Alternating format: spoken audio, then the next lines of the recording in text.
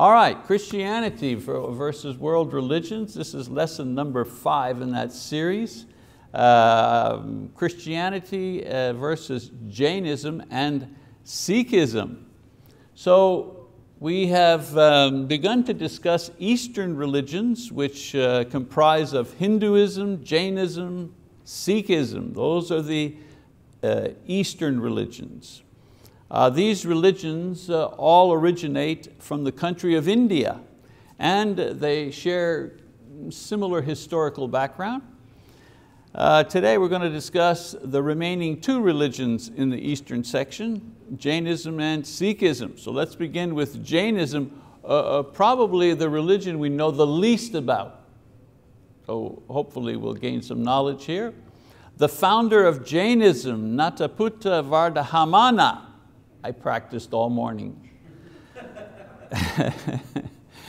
or his given name, Mahavira, Mahavira which means hero or great man. Uh, he lived 599 to 527 BC. Remember I said a lot of these religions seem to start around the same period of time. This is one of those. Um, he grew up wealthy. He, he was rich. His father was rich. His father was a Raja. Remember we said Raja and Maharaja, you know, great men, rich men. His father was a Raja in the uh, uh, caste. Uh, remember we said there were uh, five castes or castes. Uh, the Brahmins were at the top, you know, the priestly caste, and the Kshatriya uh, caste was second. Well, he belonged to that second caste there. Uh, after his father uh, and mother died, he gave uh, his goods away to the poor and he joined the Hindu monks and he made vows and decided to live as a, as a Hindu monk. Um, and of course, uh, he joined a strict sect of the Hindu uh, monks, no maintenance of the physical body at all. They don't go see doctors um, and they suffer all calamities visited upon them by man uh, or divine power without complaint. So he stayed with the monks for about a month and then he decided to reach moksha. Remember I talked about moksha? Moksha is uh, uh, merging with the divine, uh, merging with Brahma. And that is the ultimate in Hinduism. So he decided to cut it short and uh, reach moksha using two main ideas.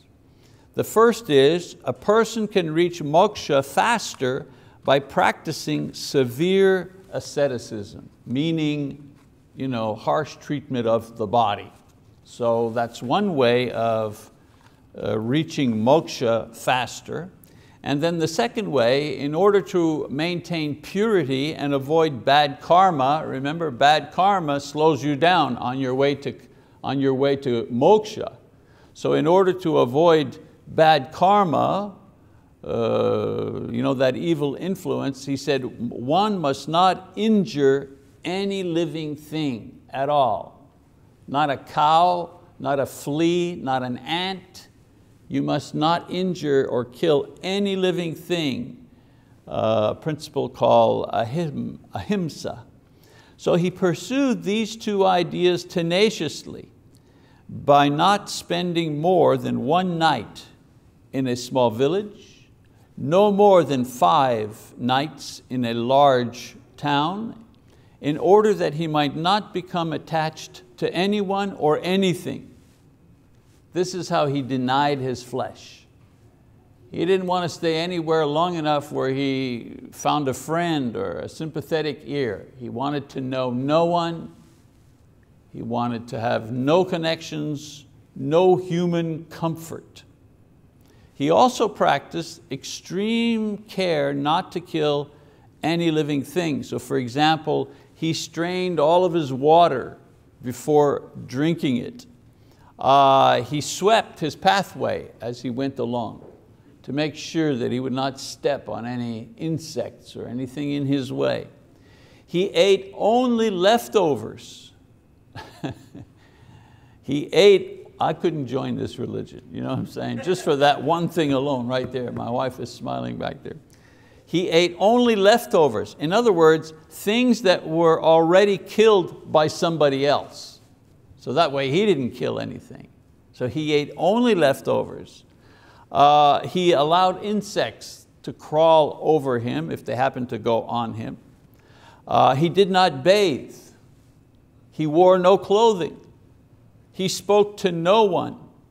He meditated all the time and he claims to have reached moksha in the 13th year of this lifestyle, or as some call it, nirvana. You know, when you hear nirvana, they reach nirvana, moksha, nirvana, same thing. He continued to live after reaching moksha, something different than what was happening in the Hindu religion. You reach moksha, you're, you're already dead. You know? I mean, reaching moksha is the, you know, is the ultimate. You, you've, you've merged with Brahma. But no, he reached moksha, he was still alive. Um, the origins, uh, after reaching moksha, he gathered and he organized disciples. So Mahavira died uh, from self-starvation, willfully cutting himself free from this world in order to enjoy moksha, which is the non-participation of this world. And so there was a movement that grew largely as a reaction, and this is what's important. If this was a class where you had an exam, here's the important part. The movement that he began and grew was a reaction against the Brahmin caste, the Brahmin caste, okay? Um, it was called Jainism because the word Jain means those who conquer the flesh, which is what the founder is said to have done. Jaina is the deified personification of the founder and he joined the gods like other uh, Hindu deities. And so two main branches of this religion, this Jain religion, Jainism, one, the white clad, the white clad. Those are the ones who wear clothing uh, and they only wear one white garment. And the sky clad, those are the ones who uh, are naked like the founder. Uh, the devotees of this religion mainly follow individual teachers. There's no like temples or things like that. They, they follow individual uh, teachers. Their idea of deity, their concept of deity, they rejected the concept of a supreme being. In other words, they rejected the idea of Brahma. And they rejected the idea of Brahma because the idea of Brahma is what gave rise to the caste, you know, the caste, the, the Brahmins, the guys who were in charge, the priests.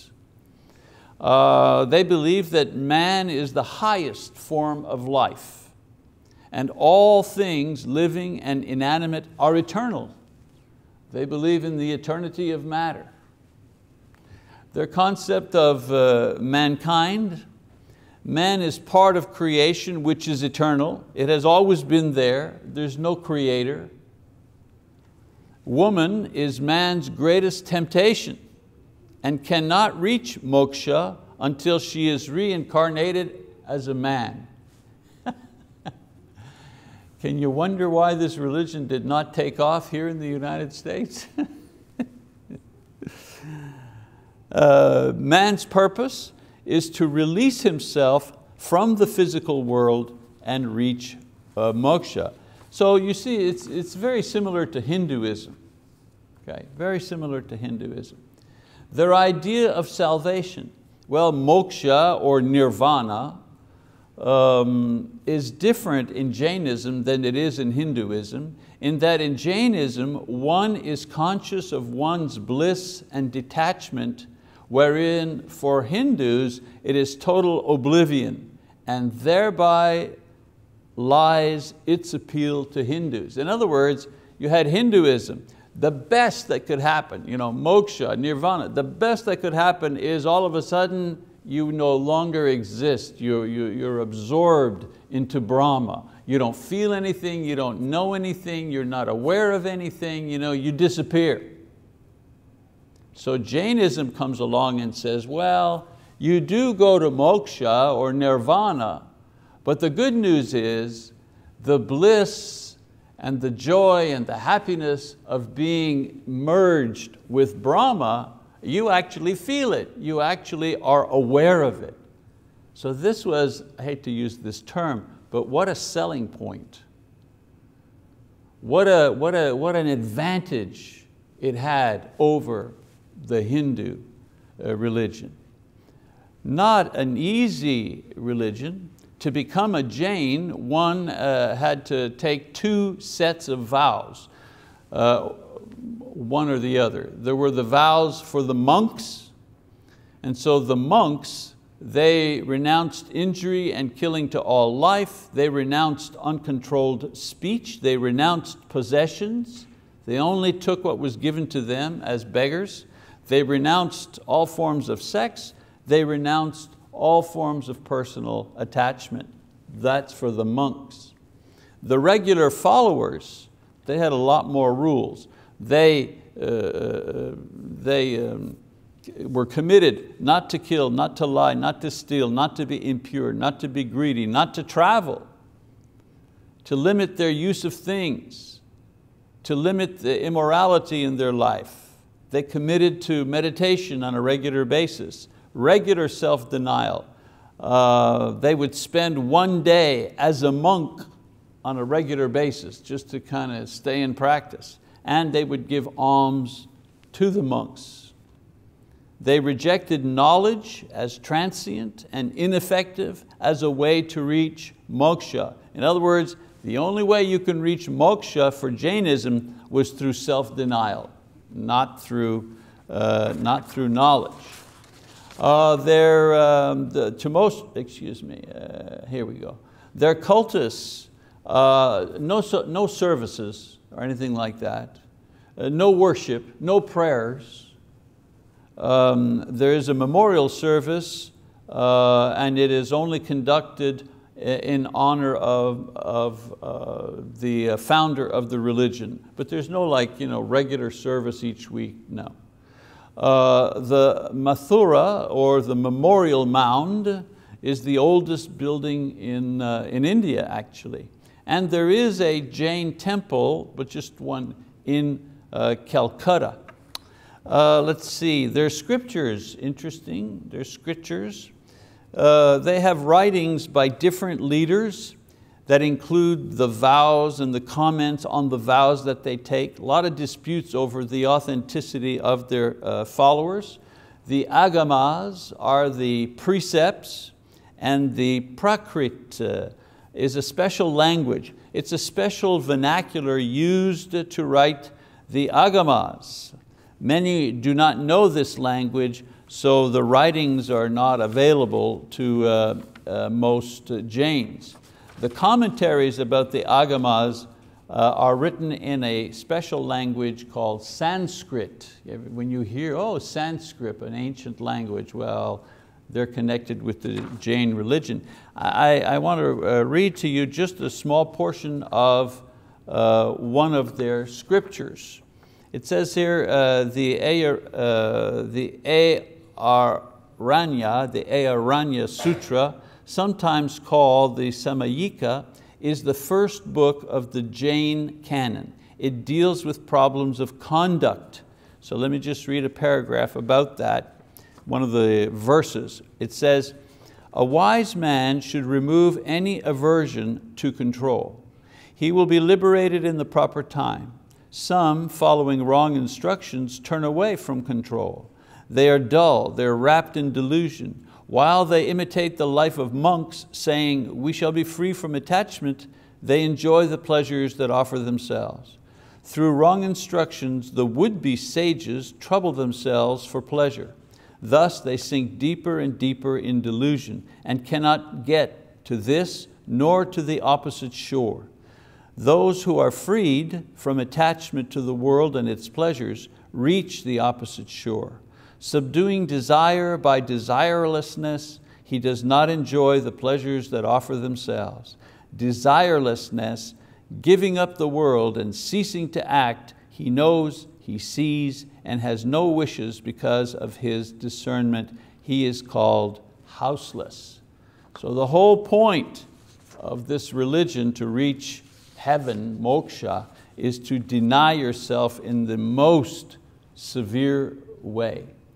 Uh, the geography, uh, well, since Mahavira was from a high caste, many of his followers are from the higher classes, which mean uh, they're city dwellers, they're merchants, leaders, bankers who control uh, the commerce in the south. About three million of these individuals uh, live in the Bombay area, or it's called Mumbai now. A very exclusive, closed religion, non-evangelistic. Nobody's out there to try to convert you to Jainism. Uh, it is uh, something that goes from family to family. All right, so that's Jainism, which I find the most unusual and difficult religion. And basically, what is it?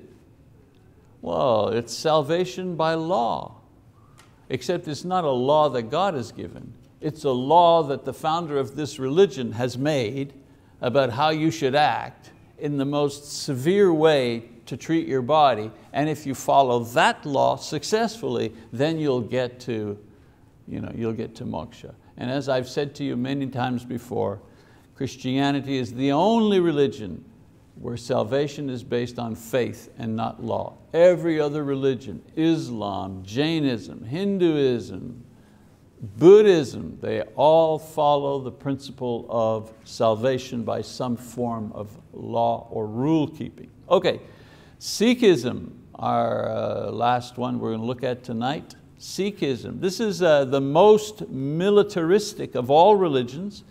It was begun as an attempt to harmonize Islam and Hinduism because of the geography. You know, these people here were stuck between the Hindus on one side and Islam on the other. So they formed a religion that kind of took from each. It took the monotheism from Islam and it took the idea of karma from Hinduism and it kind of made a new religion. Okay? It was um, uh, the term Sikh, by the way, that's how you pronounce this, Sikhism. The term Sikh simply means disciple, disciple. The founder, uh, Nanak, 1469 to 1558 AD, he was a Hindu. Uh, he was a Hindu of the Kshatriya caste, uh, born near what is today Pakistan, which, is, which used to be North India. Uh, he was influenced by earlier writer called Kabir who wrote about both the Muslim and the Hindu religions. And so Nanak lived in a place where Hindu and Muslim peoples were settled side by side and this influenced his thinking. He is said to have had a vision. Ah, doesn't that sound familiar?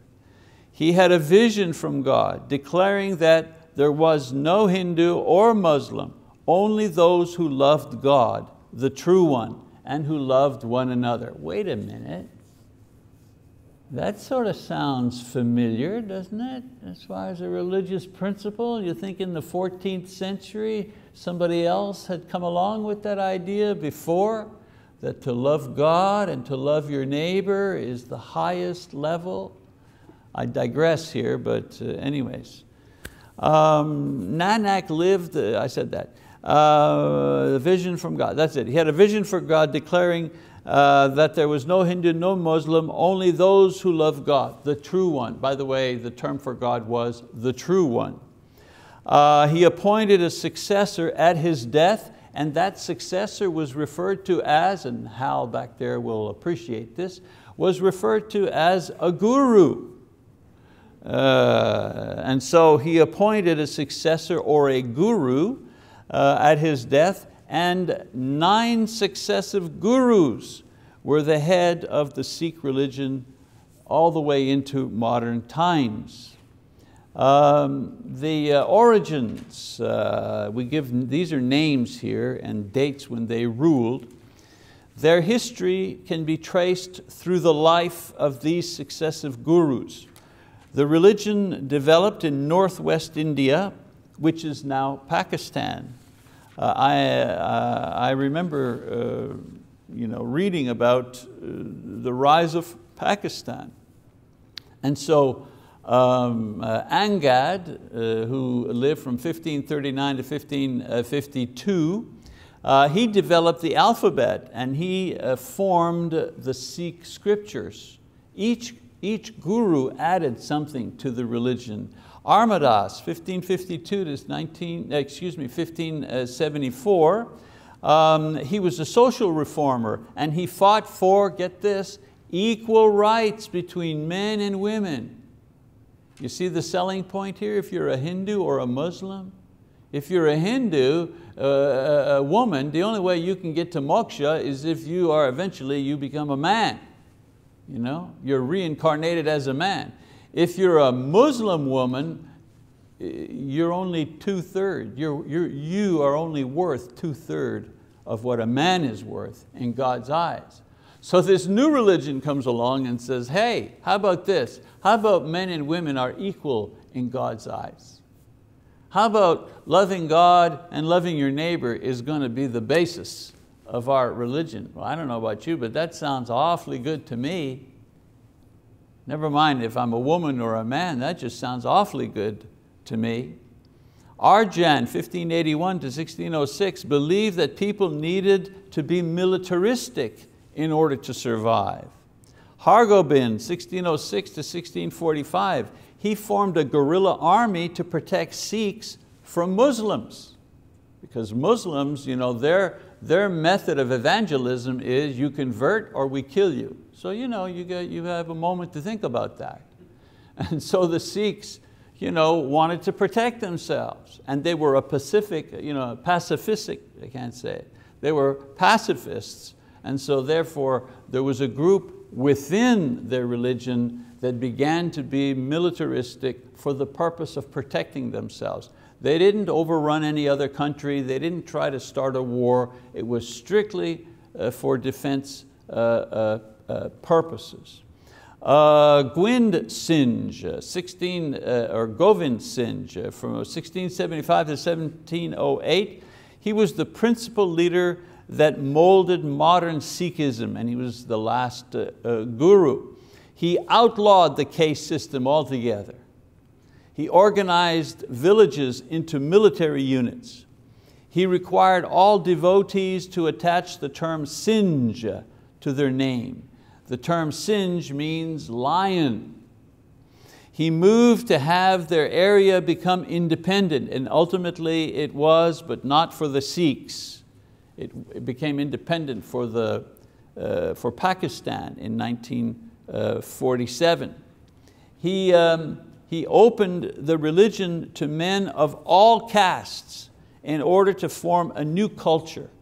And this was done through what was called the baptism of the sword. And so men and women were equal. Uh, and this became a pretty uh, you know, uh, attractive proposition uh, to people who were living in the caste system or people who were under the thumb uh, of the uh, Islamic leaders of the time. So he took five disciples and he made them drink a special sweet mixture of nectar and water and he mixed it with a sword and then he sprinkled each man five times on his hair and on his eyes. Wait a minute, hmm, sprinkling water on new disciples, hmm, a kind of a baptism ritual. Hmm, wonder what religion that comes from.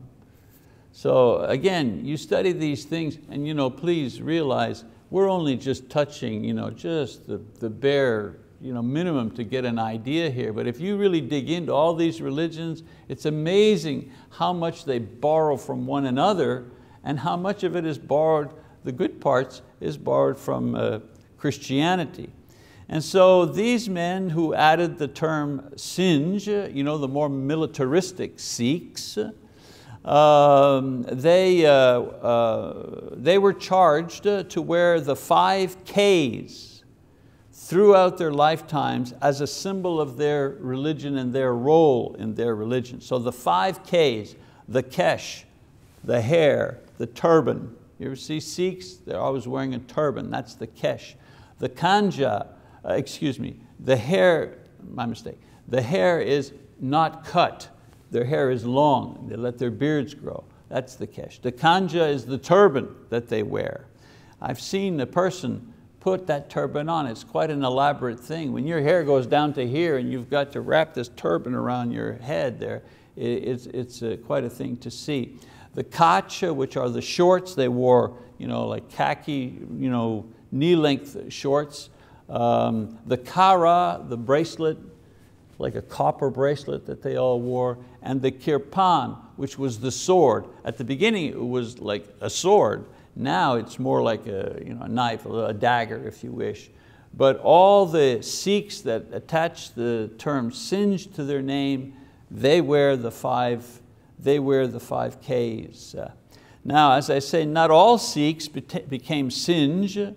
Some remained you know, uh, pacifists, but those who did became very skilled in the military arts.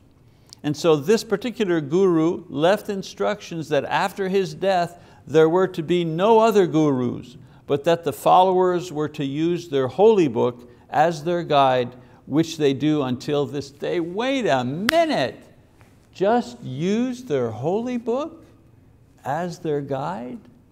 Wonder where they got that idea. All right, the deity, I need to move here, concept of deity, they were monotheists. There's only one God. Uh, the name of God is truth. They rejected the concept of the Hindus. They adopted the sovereign God concept, actually not necessarily of uh, Christianity, but of Islam. There's only one God. Their idea of mankind, they believe in the, university, the universal brotherhood of all men. Uh, they believe that man was created by God. They accepted the idea of moksha and karma, except moksha was with God, not Brahma. Uh, they put great value upon the individual. In other words, they were very socially aware for their time and for their period. Their concept of salvation Repeating the name of God is worth more than all the rituals in the world. And so what they would repeat is, there is one God and truth is His name.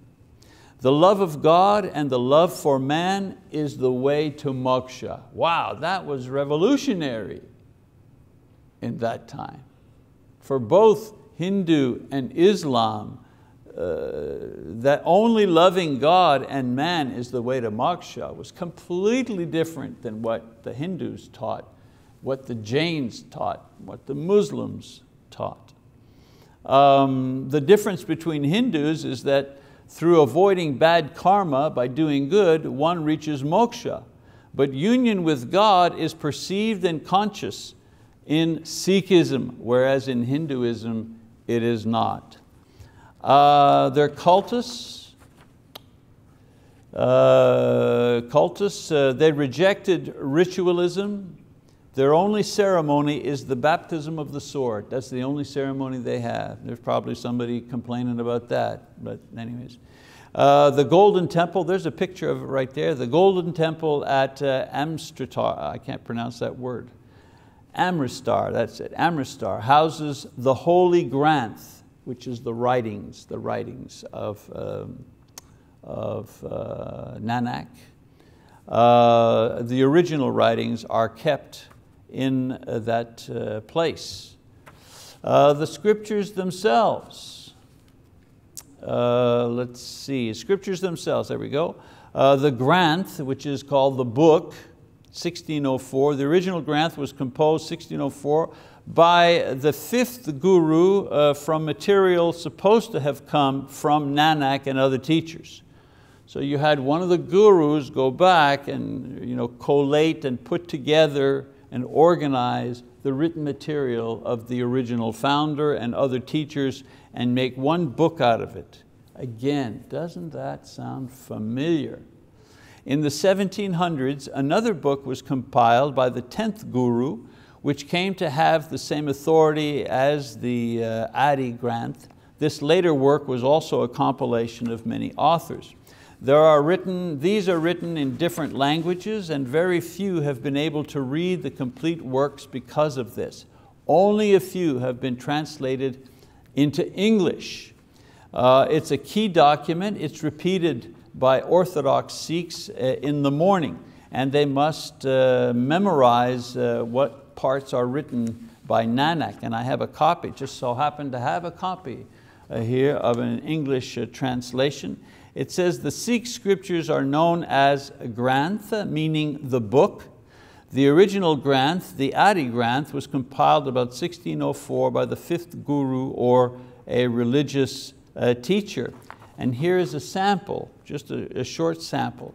Uh, the heading is repeat his name. The true one, remember we said God's name for the Sikhs, the true one. It says, the true one was in the beginning. The true one was in the primal age. The true one is now also. O Nanak, the true one also shall be. By thinking I cannot obtain conception of him, even though I think hundreds of thousands of times. Even though I be silent and keep my attention firmly fixed on Him, I cannot perceive silence.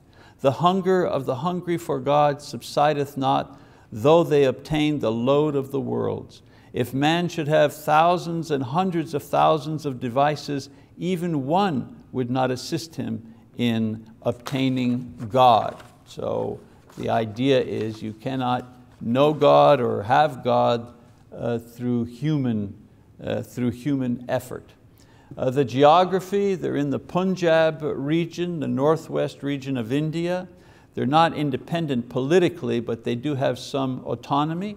Most of them live there. Many have uh, migrated uh, to, the, uh, to the west, many uh, especially to England. And then one last uh, thing here, uh, miscellaneous information. Their reaction to the Muslim threat gave rise to this militaristic faction um, of the Singh or the Lions. These became great soldiers and especially bodyguards in the British Army and later on personal security people for you know, very wealthy people and politicians and so on and so forth. They used their military abilities to preserve themselves and not to conquer others.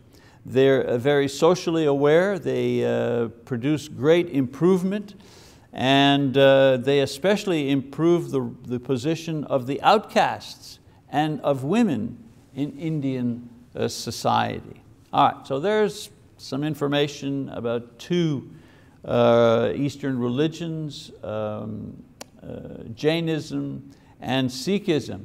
All right, next week is going to be Wednesday night. It's the Wednesday before Christmas and uh, as is our tradition here, we will have a devotional time uh, next Wednesday that we will plan and uh, everybody usually enjoys the, uh, the, uh, the, the pre-Christmas Devo that we have here on Wednesday night. And then the following Wednesday, the last Wednesday in the year, I will come back and torture you some more. Uh, but this time you really have to put your boots on because we're going to do Taoism, Confucianism, Shinto, and Buddhism. We're going to do them all in one shot in the last lesson. And then the series uh, with all its painful repercussions uh, will belong to you. And that's it for now. Thank you for your attention.